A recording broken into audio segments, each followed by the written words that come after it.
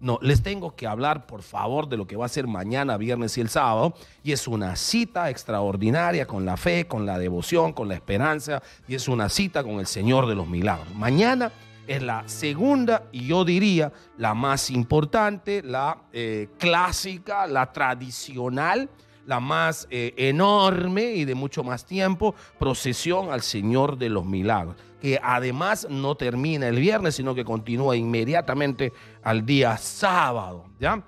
Eh, levanta un poquito tu risito para ir ambientando. Pero es un país de fe, si no tuviéramos fe estaríamos quebrados.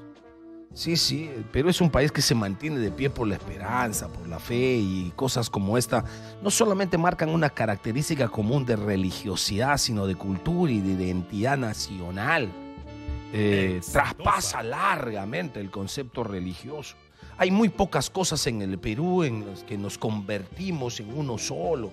Dejamos las diferencias, las discriminaciones, las estigmatizaciones, todo aquello que nos divide y en la procesión todos somos hermanos porque todos somos hijos del que precede nuestro camino y nuestro andar. Mañana, viernes, les cuento de dónde sale, cómo sale la procesión del Señor de los Milagros.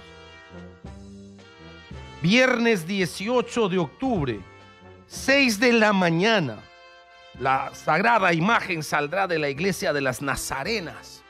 Seis en punto recorrerá la avenida Tacna, irá la procesión por el Girón Ica, el Girón de la Unión, luego ingresa a la Plaza de Armas, donde recibirá los homenajes de la Municipalidad de Lima, el Palacio de Gobierno y el Palacio Arzobispal. Tiene suerte que sea la imagen, porque si fuese el mismísimo Señor haría lo que ha hecho hace más de dos mil años. Sacaría su látigo y les azotaría a todos.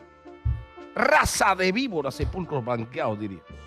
Imagínate a la municipalidad, Palacio de Gobierno, Madre Santa. Pueden ahí chamuscarle al Señor de los Milagros. Bueno, pero eh, el día, al día siguiente, el día, el día sábado, también a las 6 de la mañana, el Señor de los Milagros saldrá de la iglesia de la Virgen del Carmen de Lima y va a recorrer los girones Huánuco, Puno, Antonio Vaso, va a ir luego al Hospital 2 de Mayo, seguirá su recorrido otra vez por el Girón Vaso, la Avenida Grau, van a ingresar al Hospital Almenara. Eh, es un gran bálsamo el Señor de los Milagros para la gente que padece alguna enfermedad y sienten que la salud se les va, algún dolor en el cuerpo, algún mal que les aqueja. Realmente ayuda muchísimo la oración, muchísimo.